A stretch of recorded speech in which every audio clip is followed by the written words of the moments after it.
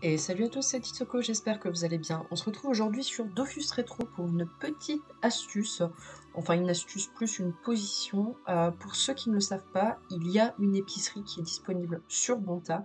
Donc l'épicerie euh, n'est pas visible sur la map, peu importe tout ce que vous tout ce que vous cochez en fait. L'épicerie n'est pas du tout visible, que ce soit ici, à Brakmar ou à Astrub, vous ne la voyez pas. Donc je vais juste y aller avec vous, comme ça vous savez un peu où c'est. Donc ça va se situer au niveau de l'atelier des bijoutiers, et ce sera toujours à gauche. Et euh, du coup, vous aurez aussi euh, une entrée vers les égouts de Bonta, donc qui se trouve juste ici. Donc là, si vous allez là, vous, allez aux égouts de Bonta. Petite astuce. Donc voilà. Donc l'épicerie sera tout simplement ici en tiré 35, 59.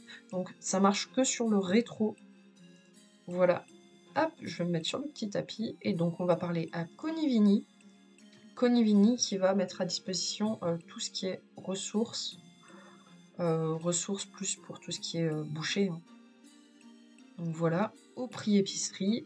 Et ensuite, on aura ici la petite Outawit. Donc Outawit qui met à disposition des bocaux, des bols et des terrines. Alors les bols et les terrines, il n'y a que ici que vous pouvez les trouver.